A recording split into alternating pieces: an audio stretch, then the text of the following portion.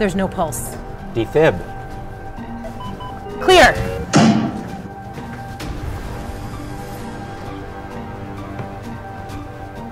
I know exactly what I'm doing. I'm a board certified residency trained emergency physician. I have eight years of post college education and the student loans to show for it. If I had to treat a bleeding patient, it wouldn't faze me a bit. Nothing does, except maybe insurance companies. They're the worst. Now, thanks to the insurance industry, emergency care is covered less and less, and patients are paying more and more. I went to medical school to make a real difference. You're going to live. We are real emergency physicians. And it is our privilege to take care of almost 140 million patients every year.